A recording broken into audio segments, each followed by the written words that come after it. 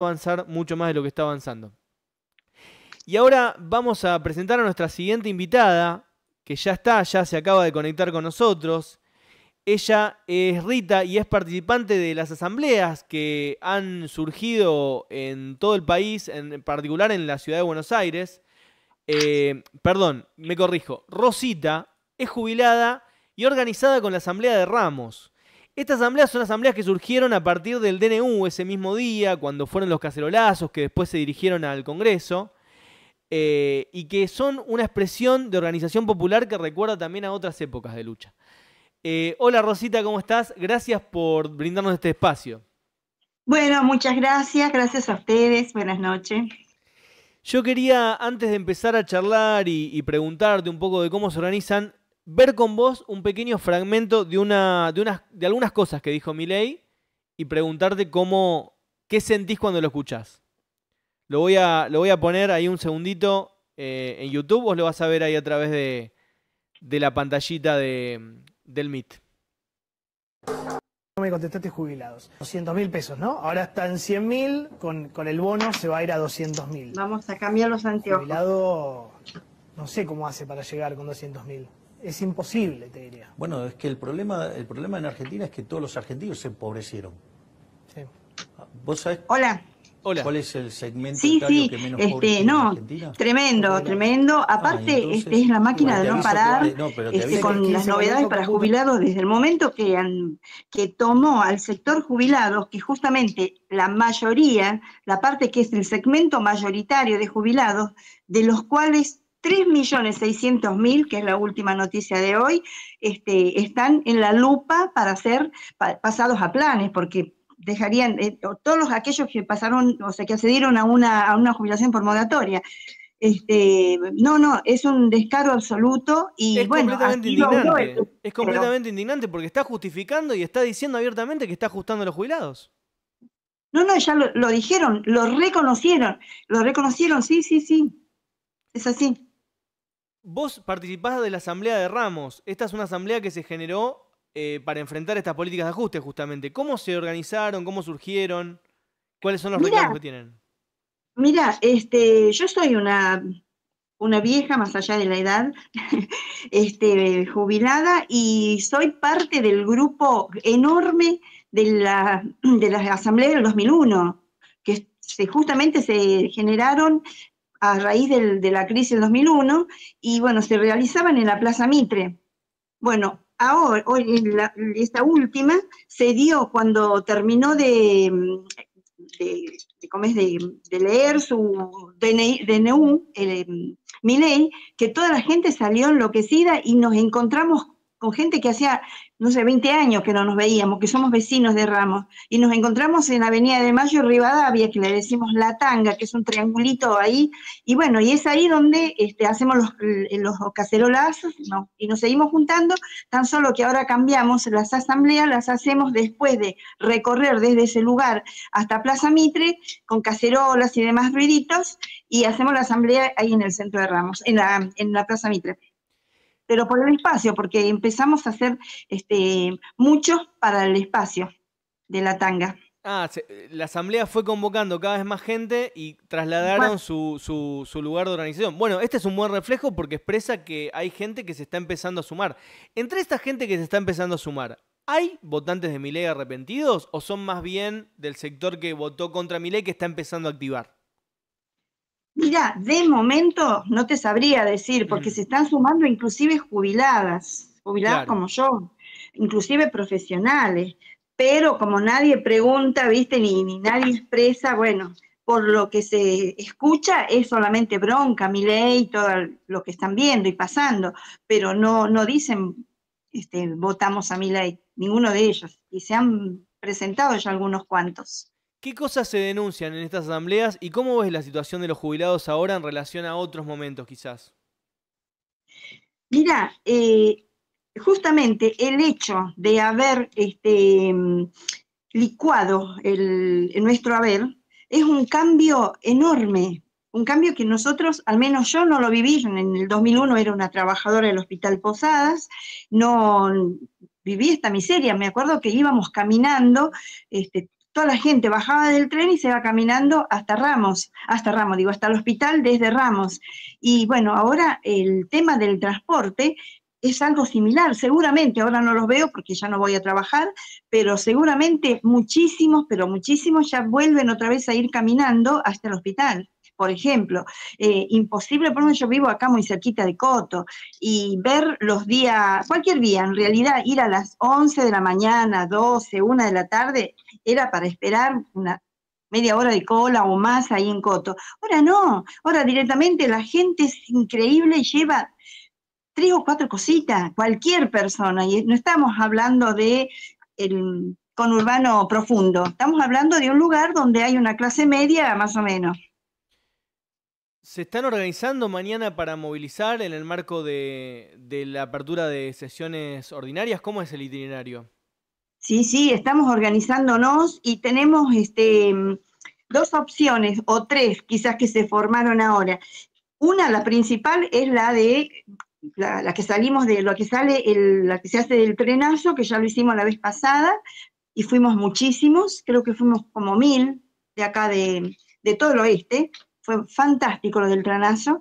Eh, allí hay un, salimos de Ramos, estaremos a las cuatro y media saliendo, y así vienen desde, desde Moreno, todas las estaciones donde están las, las asambleas, van levantando los, asambleístas, y bueno, estamos, em, tenemos que estar a las eh, cinco en, en once para el molinetazo, y Cacerola hace de mayo, y después, desde ese acto, nos vamos en Caramana hasta Congreso.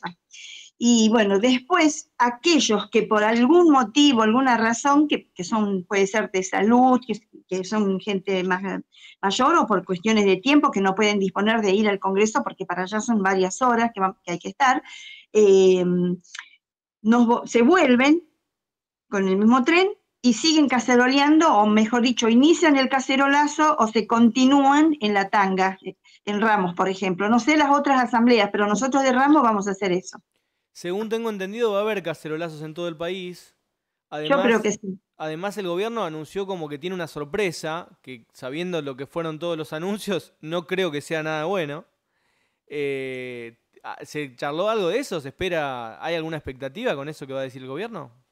No, todo lo contrario. Acá hay un entusiasmo en el sentido de, de dar pelea y, y derrotar el plan Milei. Antes era como que era ¿cómo era? Como mucho decir, eh, mi ley basura, vos sos la dictadura. Bueno, ahora decididamente está para derrotar el plan Milei porque ya se nota hasta cualquier cosa de eh, cualquier entrevista en la televisión ya se ya la gente que tiene mayores ingresos se da cuenta que también hasta ellos son arrasados. Imagínate vos los que viven de una jubilación o de un salario mínimo, una jubilación mínima. Te quería consultar eso. Eh, ¿En qué consistió concretamente el ajuste de los jubilados? Más allá de la inflación, ¿no? Eh, ¿Y en qué consiste concretamente el cambio del régimen de medicamentos? Que es algo que se charló también mucho. Mira, yo el, eh, por lo, soy afiliada de PAMI, pero el régimen de, medicamentos, por suerte, no tengo yo esa experiencia todavía, porque bueno, no, no tengo medicaciones que me representen, pero es absolutamente imposible comprar. Si es hmm. Difícil comprar un, eh, no sé, un kilo de papa, un kilo de naranja, imagínate vos un te cuento algo. Resulta que el otro día estuve con mis compañeros, ex compañeros del Posada, que hicieron una asamblea, y uno de los enfermeros comentó que eh, vos sabés que los docentes cuando tienen problemas sus este, alumnitos eh, les compran el cuaderno, un cuadernito, un lápiz, etcétera. Bueno, ellos también eh, hacen algún, algún, este, alguna coleta o propician algo para que se consiga un medicamento, que esto no había ese problema porque aparte está el servicio social en el hospital mm. y, los medicamentos en el hospital para los que están internados son gratis. Bueno, eso obviamente, como creo que lo sabes, se cortó. Mm. Eh, y, un, y un pacientito oncológico necesitaba un tratamiento que consistía en, una, en ocho ampollas, que era todo el tratamiento, pero ese, esas ocho ampollas eran tenían un costo de 20 millones de pesos. O sea, para que te des una idea, eh, lo abrumador e imposible, porque no, no, es imposible de dónde se, de dónde se mire y para quién sea. Claro, y ese dinero ya el Estado no lo brinda, o sea, corre por cuenta de cada persona, digamos. Claro. O sea, y ahí hay los gente que no va a poder recibir el tratamiento directamente. No, Y- no. Y bueno, esos compañeros hicieron, le abrieron una cuenta y para conseguirle plata. O sea, se está recurriendo a eso, pero eso también tiene un límite, eh, absolutamente. No, es, es terrible la situación que se está viviendo. Eh, ¿Crees que, que va a haber una respuesta como el 2001? ¿Crees que el gobierno puede terminar como de la Rúa? Mira, no, yo creo que, que, que van, se va a una crisis este, quizás superior a eso, quizás superior, pero bueno, todavía no está muy definido el cuándo. Pero esto es un, por un lado, es un cal- una, un- una calma chicha, porque para algunas personas, algunas que, veo, que escucho, dicen, bueno, está todo muy quieto. Bueno, será porque yo en- estoy en un, en un lado donde eh, es otra manera de ver la, la realidad con los reclamos a cuesta, porque yo soy una militante también de izquierda, del MCT, eh, vemos esa realidad de otra manera. Entonces, sabemos que, que- es un calma chicha, pero más o menos, porque ahora, no sé, hasta que- bueno, vamos a ver mañana cómo va a ser la respuesta de la ciudadanía, porque se, se está perfilando además otro ajuste, pero un ajuste eh, desorbitante con respecto a la energía, que va a ser algo increíble. Bueno, esa seguramente va a ser alguna de las sorpresas, o si no, va a ser la sorpresa para, para lo que viene. Pero bueno, entre las, las sorpresas, bueno, que va a haber seguramente es esto de la moratoria. Y, te y vos me habías preguntado antes con respecto a cómo era que sentíamos nosotros la, el, cómo es la, Sí. la devaluación. La devaluación para nosotros no viene desde ahora. El golpe de, de, mi- de Milei ha sido el golpe fatal directamente. Eh, nosotros tuvimos en el mes de agosto eh, uno de los últimos este, partes de la movilidad y fue el 23,6%. Al toque más, al 20, hizo la devaluación del 20%. Bueno, o sea que nos quedó, entre comillas, libre un 3,6 para vivir hasta diciembre. En diciembre, bueno, diciembre-enero, cae el 120% de devaluación de mi ley. Bueno, eso fue fatal, pero fatal absolutamente, porque no tuvimos, eh, o sea, estábamos con un 90% devaluado nuestro haber jubilatorio Mm. Que por supuesto lo, sentimos, lo que somos la mayoría, porque si bien hay una minoría de jubilados que, que tienen otros saberes, que están saberes máximos, que son la minoría, pero bueno, a ellos no los, no los toca por ahora. De 800, bueno, ahora la, máxima sería de 904 mil y, y unos poquitos más. Hay algunos sectores como judiciales, em, este servicio exterior, entre otros, que están en unos avarios importantes de un millón, dos millones, hasta hay jubilaciones hasta de cuatro millones, pero son la ultra minoría. Ahora, la mayoría. mayoría está, la mayoría absoluta de, del 86% gana menos de 200 mil. Mm. Y de esos, otro tanto, pero mucha cantidad, que no, no, no llega a lograr ni siquiera el bono, justamente porque gana dos mil o tres mil pesos más que la mínima. No, no, es, es lo último. Bueno, ahí este, podés darte una idea dónde este, fue el, el golpe fatal que de verdad se licuó nuestro haber, haber jubilatorio. Rosita, ahí en el chat saluda a Milcar que dice, gracias Rosita por darnos la entrevista, que es un compañero que está participando también de la asamblea Claro, de... sí, él fue que me contactó. Muchas gracias, Amilcar. Gracias, Amilcar, sí, por este espacio. Bueno, por supuesto, a ustedes. Yo quería darte el espacio también para un último mensaje que quieras dejar, tanto como, como activista, participante de la asamblea, como militante y como persona que está sufriendo como todos este ajuste. Bueno, este, sí, bueno, que mañana eh, no le hagamos caso al miedo, porque nosotros no sabemos cuidar. Miedo tenemos a esta realidad que es una incertidumbre absoluta todos los días. Este, Adorni, lo escuché recién, que está alertando por posibles este, extorsionadores. ¿Quién más extorsionadores que ellos?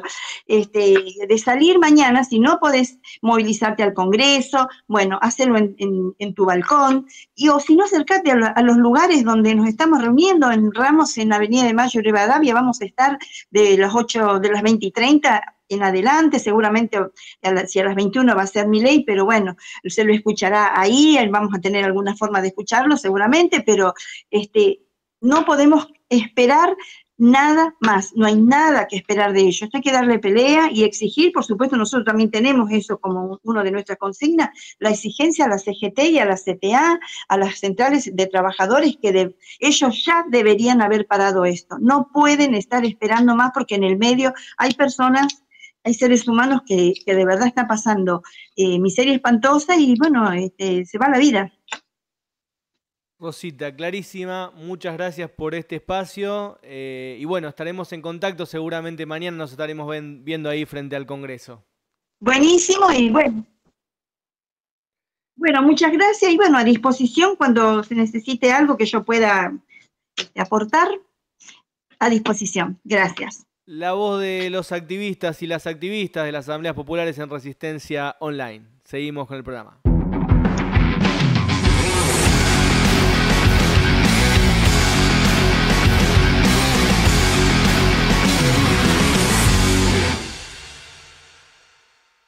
Edición número 55 de Resistencia Online.